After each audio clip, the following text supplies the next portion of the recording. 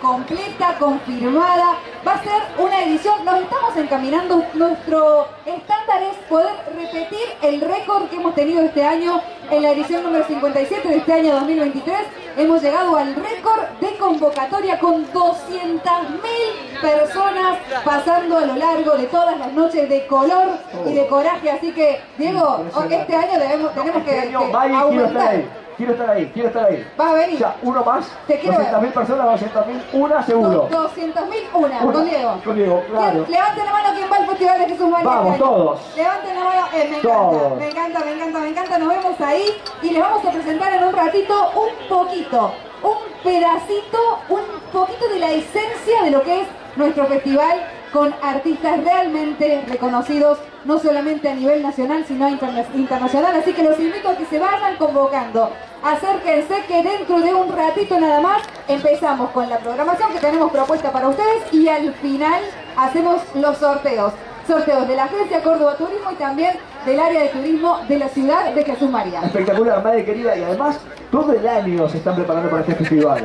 Todo el año la, la- la ciudad se prepara gastronómicamente, la gente y demás. O sea, no solamente es el festival, sino que además incluye, tiene un montón de aristas, gastronomía, hostelería. Todo, realmente, realmente Se mueve digo. la ciudad muchísimo. Sí, exacto. El 30 de octubre, 30 de octubre vamos a estar presentando la programación final de esta edición del festival. Y es cierto que Jesús María no es solamente lo que ocurre en el escenario, lo que ocurre en el anfiteatro José Hernández, sino que es todo el folclore, ¿no? ¿Has ido alguna vez? ¿Has tenido la posibilidad? ¿Sabes que no? Bueno, este, Este- año, este- este, este 2024 es el Ay, momento. es el el momento, momento en el que tenés que venir a conocernos porque es realmente una fiesta, es tradición. Lo he visto por televisión siempre, Maggie. Siempre Claro. por televisión. Pero, ¿Sabes qué pasa con la tele? Que la tele no alcanza a mostrarte Exacto. todo lo que es el festival. Exacto. Porque el festival no es solo lo que pasa adentro, ¿no? Tenemos todo ese folclore de la calle, de los puestos, de las ferias y demás, que es realmente muy lindo. Y recordar siempre los fines solidarios, ¿no? De nuestro festival. Nuestro festival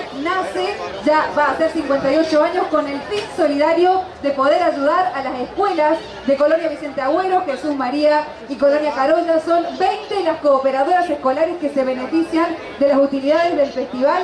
Tenemos más de 500 voluntarios que trabajan durante todo el año, durante todo el año de forma desinteresada, Diego, de forma Claro. desinteresada. Es realmente un trabajo muy hermoso el que hay para beneficiar a los más de 10.000 alumnos que por supuesto que acuden a las 20 escuelas beneficiarias. Es maravilloso, es maravilloso. Tenemos que estar entonces en el Festival de Jesús María. Además, vas a estar en el escenario. Vamos a estar compartiendo con otros colegas la conducción, sí, sí, y imagínate, la, con toda la ilusión de poder, de- a- a- la, la idea es aumentar esos 200.000. Esperar, esperemos que, por supuesto que tengamos, este año nos acompañó el clima, tuvimos realmente noches hermosas, no nos llovió como otros años que la lluvia hace que la cosa se frene, ¿viste? Sí, sí, la, sí, la sí. lluvia ah, es una bendición, la Pachita Bama nos ayuda con su lluvia, nosotros que somos del campo, somos bien camperos, queremos la lluvia, la necesitamos, la amamos y la bendecimos.